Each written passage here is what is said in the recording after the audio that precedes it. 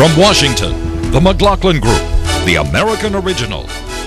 For over two decades, the sharpest minds, best sources, hardest talk.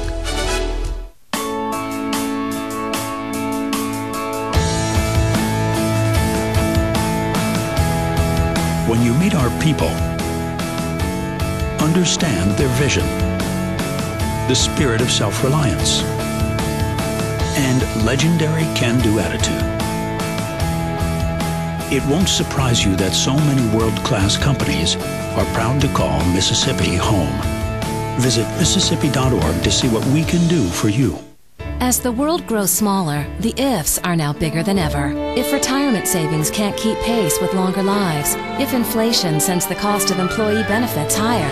For over 135 years, MetLife has provided insurance guarantees for life's many ifs. We have the experience, global resources, and vision to provide financial certainties for an uncertain world. No wonder 70 million customers around the world count on us. After all, we are MetLife.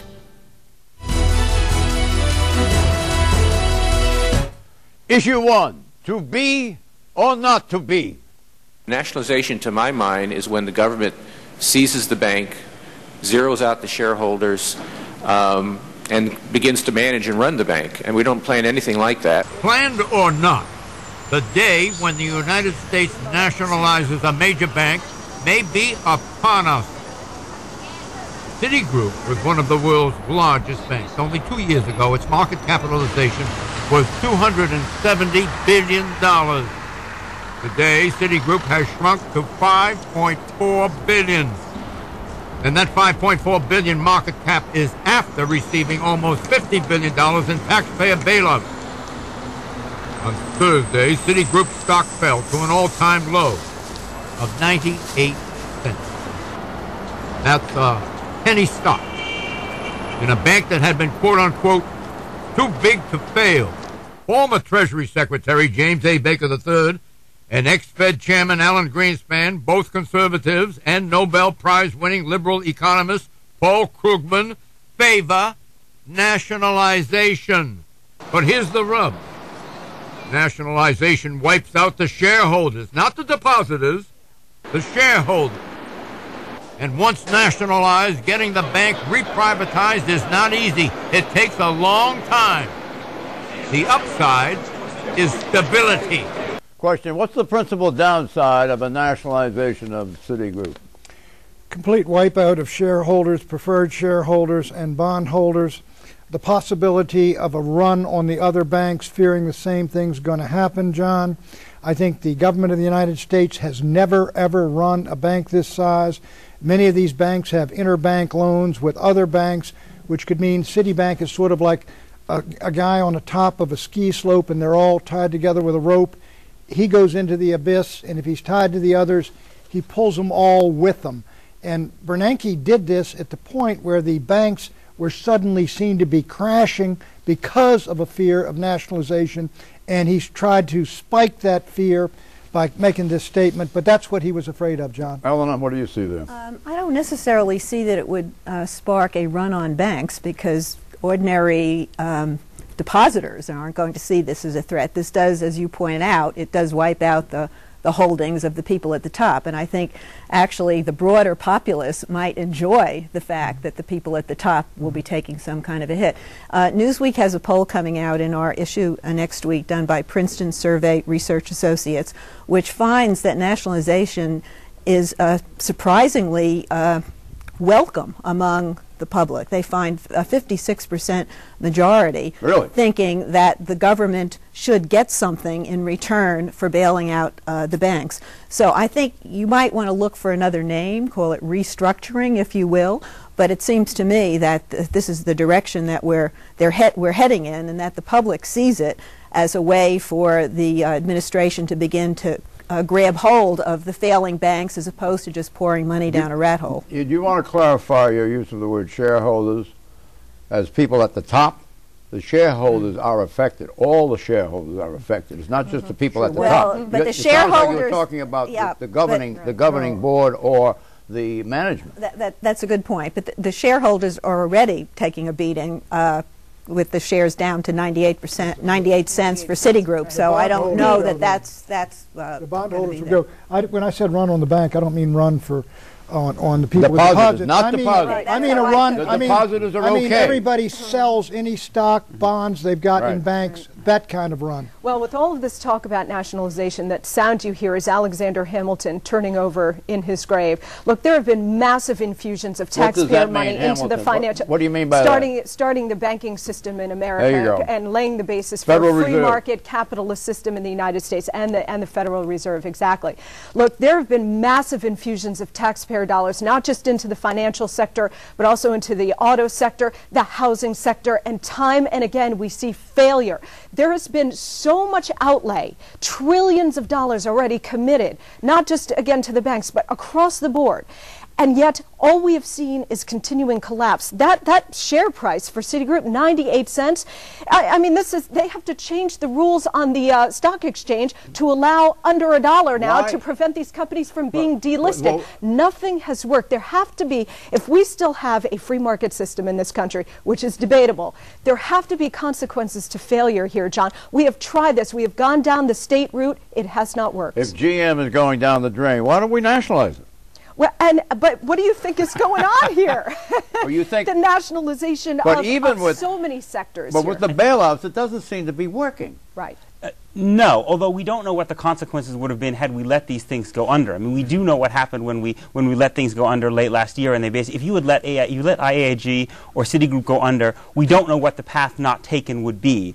Uh, I, I think what we where we are here is uh, we have a certain set of ideological constructs that we're still using about free market capitalism, and when Alan Greenspan and James Baker are saying that basically we have no alternative but to nationalize the banks, I think we are in a situation now where these where this lingo is not serving us well. Nobody wants the government to be running the banks over the long term. Okay, the question clear- is whether we basically run out of other options. Let's clear this up with the chairman. Mr. Chairman, what precisely do you want? What do you want Congress to do?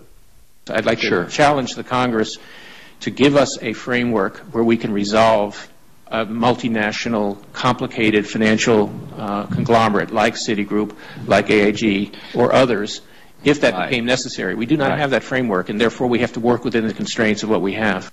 Sir, can you pin that down just a little bit more? So what's your feeling with regard to nationalization of individual banks? Uh, As a possible option in the future, as an abstract option, but I reiterate that we do not have the tools to do that. We don't have the tools to do it, but he's not against it in theory. Well, yeah, I mean, I think they could find the tools to do temporary nationalization of failing banks. We're not talking about a permanent nationalization of the entire uh, banking system. And frankly, that's the dir- we're heading in this direction. And the people who complain about that this is uh, a, a so, socialist uh, engineering and that we should let the free markets prevail.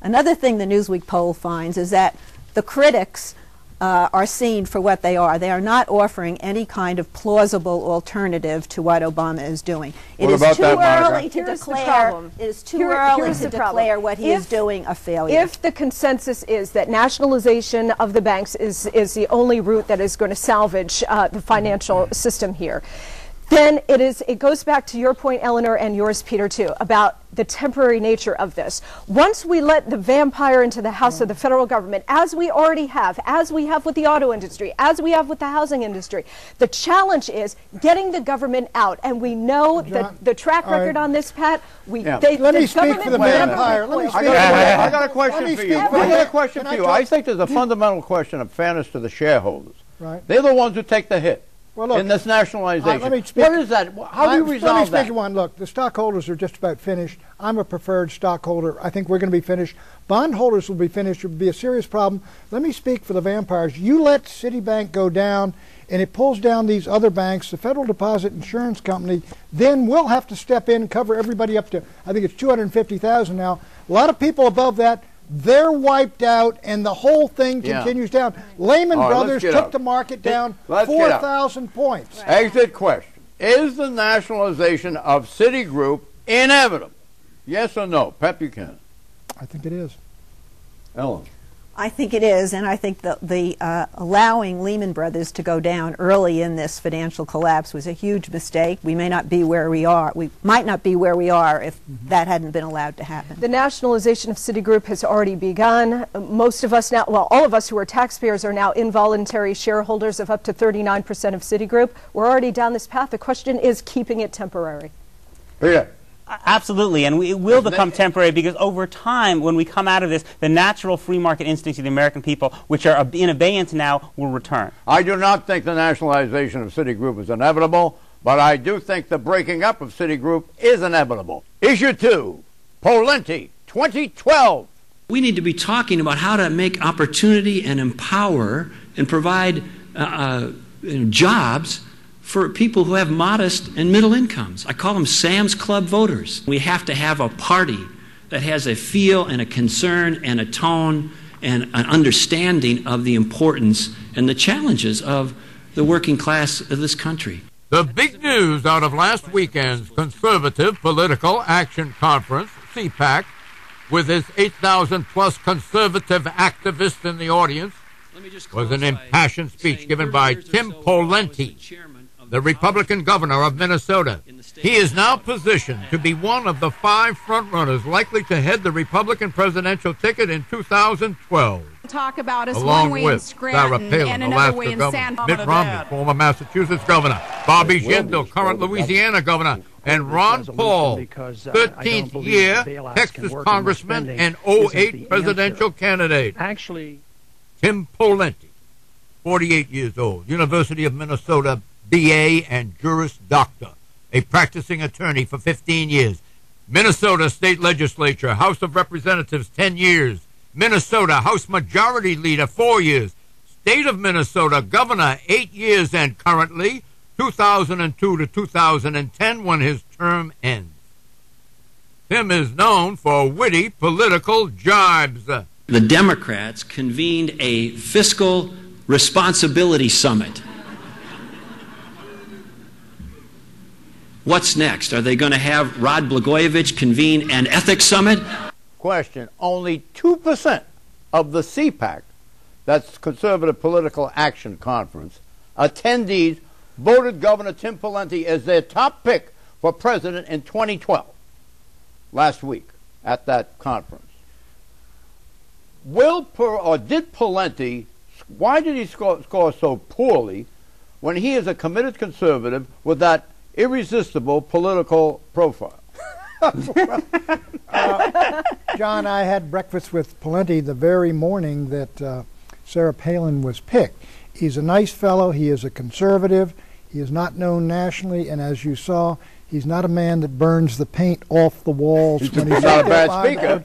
He, he's a clear speaker, John, Right. and he's a nice speaker, but that is not uh, what the party's going to Who's going to defeat him? Ron Paul? I'll tell you, defeat him. And out of your list was, uh, I'll tell you, there are three people I would say the front runners now. I would say Palin, Romney, and Huckabee. Ron Paul would clearly get a vote, but he would not win.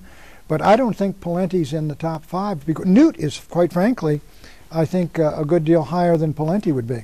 Did you see the conservative ratings of some of these uh, uh, individuals that you mentioned as listed by Human Events this week? The classic uh, conservative newspaper that I be- believe you endowed? My column is, does, does very well there, John. Human Events. Well, Human Events is, is traditional conservative, down the line, solid conservative. Yeah, and they would very much be in, uh, in with the with the straight line conservative point of view, no doubt about it. But I don't think they would be polo- promoting Pawlenty as man of the year. Well, you saw he got only 2% of the, of the conservative Governor, activists, but he's... Governor Pawlenty is going to be in the running for 2012, and he's going to represent the so-called moderate wing. And he, this was not his crowd, the CPAC uh, conservatives. And you're right, Pawlenty comes from a working class background. He has uh, some connection with reality in his, in his life, uh, but he doesn't have the red meat rhetoric that appeals to the to Well, right wing. let's There are, there are opportunities Well, here for the yeah. Republicans, but they are not You're in spinning outside to her orbit. of it. so what do you have to well, say about that? You know, you, you mentioned the CPAC poll that showed Pawlenty only polling 2%. You know who po- polled the top? Mitt Romney. He gave a barn burner, stem winder of a speech at CPAC. It was the best speech by a Republican politician Really? I've seen in a very long time. Romney, I think Romney is the front runner, to tell you the truth. I mean, Pawlenty's a very nice guy. He's he is he's sort of a go along to get along type conservative, and I can tell you through my radio show every day, I talk to the conservative base. They are in no mood to go along with Obama and his socialization plans for the United States. They want they want the stem winder speeches. They want a dynamic conservative. But Seriously, you're, you're conservative- radio audience. the- the It's- conservative- It's bond burner conservative. Bond burner conservatives, right? The barn burner, Exactly. the barn burner conservatives are, are heading straight towards their own 1972 in 2012. What's happening is it's kind of a, a death spiral in the 1972. Republican Oh, Party it's a good in, year. in, for, for, in the 49 opposite way. The Agnew, opposite. The, op- Agnew this won is going to be your 49 McGovern. states. You're going to have your ideologically pure candidate because your party's No, gotten I- so I- small I don't that the think so. conservatives Let me can tell you- control it, I mean, and you it is have further another- and further. Let me finish. Hey. It has become further. If you look at all the Peter, polling, here's the why Republican base is further and Let further tell you why away you're from wrong. average You America. got you'd had a Democratic disaster in '79, and that opened the door for a tremendously Right authentic conservative, Right 100% true, true blue. Whoever the Republican nominee, if this thing part things down, No, no, no. in You the have it exactly wrong. You have win. it exactly wrong. Because even if things are bad, Obama still gets credit for trying. Exit question. Republicans who Exit talking about question. market So did ideology Carter. in Exit got a lot of question. What reality are odds? going All down. right, let me in here, please. Patrick, hold Yes. it. What are the odds that Pawlenty will win the GOP nomination in 2012? Pat. Same two percent he got. Oh, Oh, I, I think it's 50-50, but the party come is on. the Win the party is the party is at win the war. nomination, excuse you are me, kidding. Excuse me. The party is at war with itself, and uh, the Republican leadership has imploded over the last two weeks. With Rush Limbaugh, the face of the party, Bobby Jindal not ready for prime time, all the rest of We them falling over that the far. I think- apologizing to Rush wait, Limbaugh. how do you how do you even begin with that? You're going to go down the list. All right, let her in. Let her in. I Let want her to in. finish my statement, and that is that Pawlenty looks pretty good to people who aren't part of the right-wing mafia. You know what? There is no. Uh, there's. Let me rephrase it. There's a limited appetite for what Pawlenty is selling. Not at this moment. I don't believe he's the kind of candidate that the Republicans are going to be looking for. Well, go ahead. I think his chances are a little better than Pat's. Eh, issue three, honeymoon kaput. This week has seen a sudden rise in conversation and news of President Obama. Major newspapers have featured leading economic gurus slamming the president. Paul Krugman in the New York Times, quote, The reality is that when it comes to dealing with the banks, the Obama administration is dithering, unquote. Steve Forbes, Wall Street Journal, quote, what is most astounding about President Barack Obama's radical economic recovery program is not its breadth, but its continuation of the most destructive policies of the Bush administration. Unquote. Michael J. Boskin, Wall Street Journal.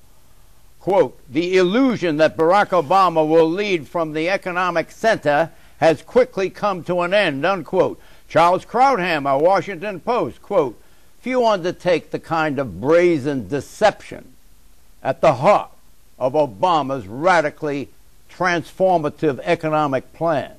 A rhetorical sleight of hand so smoothly offered that few noticed clever politics, but intellectual dishonesty to the core, unquote. What do you think of those favored terms of Mr. Krauthammer? I, I'm, I'm Didn't shocked. you work with him? Sho- I'm shocked. Charles Krauthammer and Steve Forbes and Michael Boskin, who's a Republican economist, are disapproving of Barack Obama. And he must Paul be going down. though. Paul yeah, and Paul he's being Krug. hit from the yes, and he's the being right. hit for the left, but the left has nowhere to go. The left is still going to be behind Obama. If you look at the polls, which is you know a reality check here. For, for someone in an economy that this is bad, this bad, Obama is still remarkably popular. That's exactly right. Again, the Newsweek poll says the honeymoon is far from over. His personal approval ratings are high. His popularity what's is high. his- what- but Krugman is right when he says you can't just put principles out there and say details to come. And the mm-hmm. Treasury Department has failed on this front, and they haven't gotten an- their appointees in there. It's a But he's got- fanatical, and he's made a fanatical strategic error, John. vetting processes what you holding might, up people. What you Obama's might now made it- also include in your vision is his disapproval rating. His disapproval rating is up to 28. John, oh, he's oh, made, that that's- that- politicians that- would that for that. Now, at, John, he's at the made a- same point, in all of the other collected presidencies since Gallup began, he is 50% off the mark. Is that correct? Right, right. Look, John, and also look, he's made a strategic mistake on Iraq. He's dead on. He's in the center, and he's got the conservatives with him. His budget came out. It went. It came out of the closet all the way to the left. That budget 1.75 trillion, and that's based on assumptions that are wrong. It's going over 2 trillion. He's going for health care. He's going for the carbon tax. He's going for everything. Okay, okay. You know what that's called by some people? It's called snow. And this is a snow job. In a snowstorm, you can't find your way. Is that what Obama does? Mur- murking it up. Um, Does he murk it up? Uh, he well, listen. I think that when I look at this White House and all I see is panic and fear and doom and gloom, and that's not to say that the economy is not in a crisis. It is. But the problem here is that what we're seeing from this White House and the Treasury Department, with a lack of a financial sector bailout with actual details What we're and talking follow about, though, is the- you are seeing the uh, number John, and You are opacity. seeing an He- he is arrogant not- I, want to talk It's about the number, excuse not- me, the number and the opacity of all He's of not- these issues that are blinding us. What, what are you talking about? What are you talking about? opacity? He said he's, capacity. he You've said exactly. He said exactly global- what he, you've he got said exactly global what he's going. warming. He says he's going to do health care. He says he's going to do global It's warming. He said he's going to do a big stimulus. He's He's doing exactly oh, what he it's said out he's going hammer to right. Is it sleight of Well, hand? it's, No, an, it's it's an ambitious agenda, but it's a popular agenda. question. This is this criticism of Obama building? Will it build or will it ebb? It is going to build and build and build. He has overloaded the circus. And this program, which nobody thinks is going to work, had better work or they're going to be wiped out in So 2010. that that might ease the way for Tim Pawlenty, right? right, right through. Uh, he, he is he's, he is overloading the circuit. He has two agendas: the one that he ran on, and the one that's been forced on him. And he's and he's trying to do both. And, And the he's right, the right- He is overloading the circuit. Not if you ask the Uh, American all the people. the- all the pieces fit together, and the American people so far you are. think they can sort them out? No, listen, Congress- Why isn't he focusing Congress- on the economy? He is exclusively. because Healthcare is part of the economy. So is- part so the You is know energy. what? You know what? What does he do with the health conference? He says, I don't want to interfere with any of the proceedings now going on. It sounds as though it's going to be a committee that's, action. That's on the- smart because he doesn't want to get too identified with any specifics. That's exactly what George You know W. Bush did. You know what? You know agenda what? No, it's not. Yes, smart is. presidents basically hang back a little bit and take credit. He's building to hold his negatives to a minimum in Look, 2012. his negatives may go beyond 30%. Heaven forbid. The question is, is criticism going to continue to build? Yes, it will. And that's why he's moving a thousand miles an hour because he knows he's going to jam everything into this agenda. Issue four, stock market guru. Don't worry. Be happy. In every life we have some trouble. When you worry, you make it double. You Don't spend all your time worrying about that, then you're probably going to get the long-term strategy wrong. President Obama may now be stock analyst Obama. The stock market is safe, Barack says so, if you wait long enough, which we may have to do. In four months, the Dow Jones Industrial has dropped some 3,000 points. Nevertheless, the president says buy and be patient. Buying stocks is a potentially good deal if you've got a long-term perspective on it. How long a perspective? Some say four years, 2012, after the president's reelection is safely behind him. So is stock analyst Obama right? Is now the time to buy?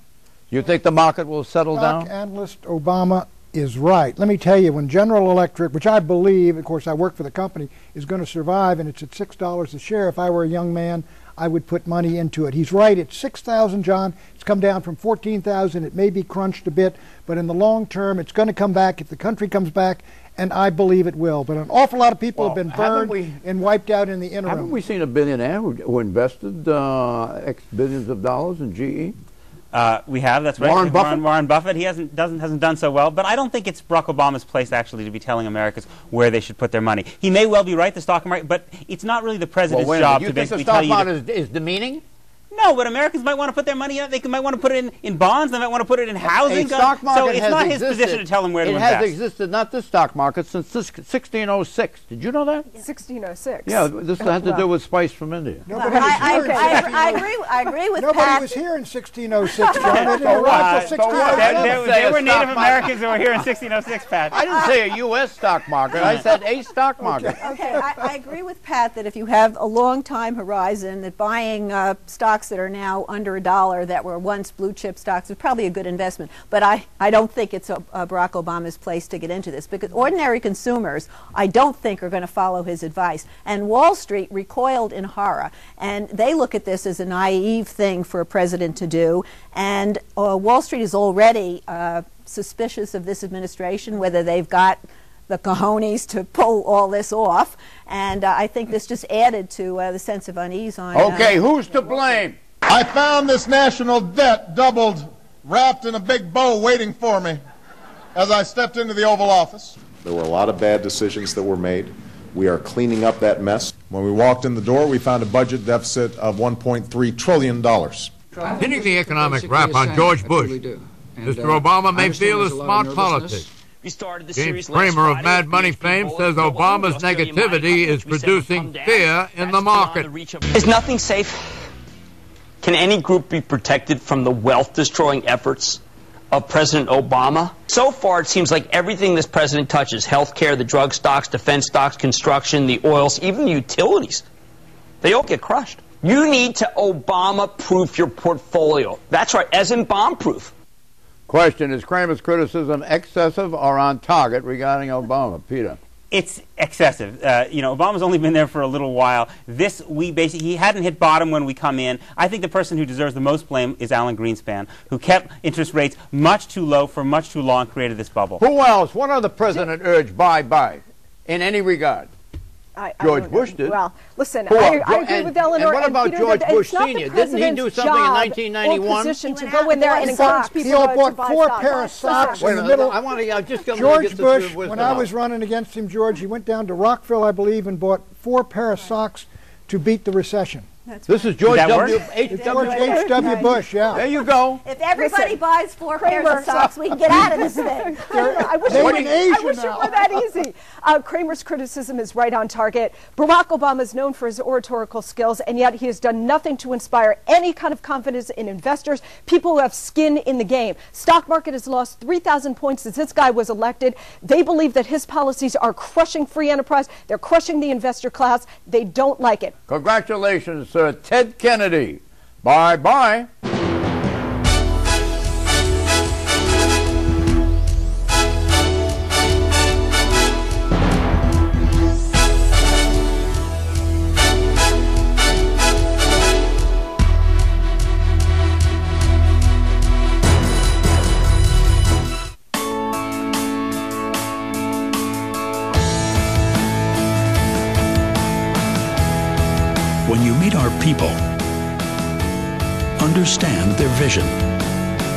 The spirit of self reliance, and legendary can do attitude. It won't surprise you that so many world class companies are proud to call Mississippi home. Visit Mississippi.org to see what we can do for you.